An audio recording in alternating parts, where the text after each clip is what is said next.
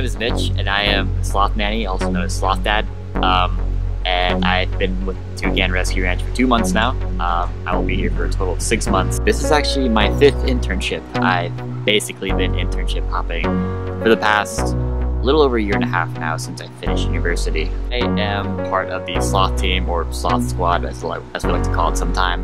And I am basically half of that team and my duties as sloth Manny basically looking after mainly our older babies. So we have six high school kids as we like to call them.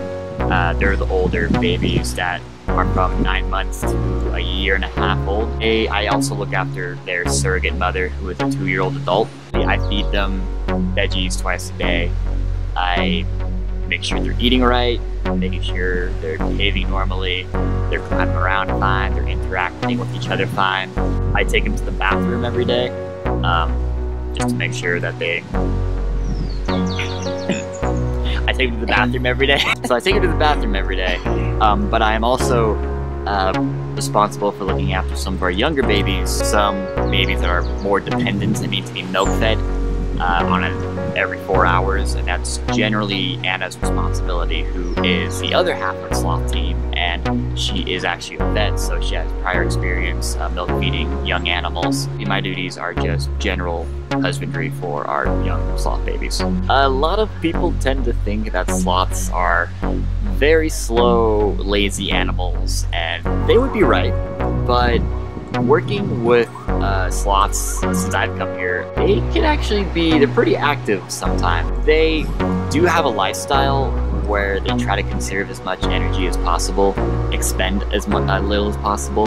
As babies especially, they are curious, they'll crawl around uh, when they start getting older. Uh, generally, when they're much younger, they will stick with their mother. The older babies I work with will climb around a bit, uh, make it actually move pretty quickly if they're excited or if they're scared or if they're kind of getting in a fight with one of their other four fellow sloth babies. As far as my job goes, I do have physical interaction with my baby sloths. Um, only when necessary, though, we try to limit touch as much as possible like I said, I do have to take them to the bathroom or I have to transport them from the kennel to the rocking chairs they rest on. And I do have to pick them up and hold them and carry them.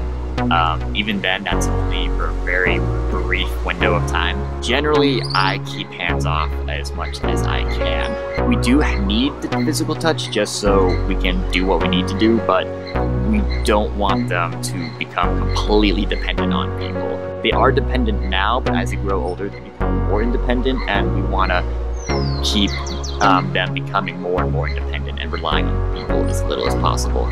Sloths don't make good pets. They are very high maintenance animals. Um, raising a baby sloth is very difficult and it's pretty much a full-time job. I'm basically part of a team that looks after baby sloths. Baby sloths um, and just even adult sloths really don't make good pets. They require a lot of attention and care despite the myth that they are very slow and lazy and don't do much. They have very special diets, even humidity, temperature, the type of environment they're living in, the type of enrichment you provide them, like what they what they have to climb on, exposure to new scents. It's a lot more work and commitment than you would.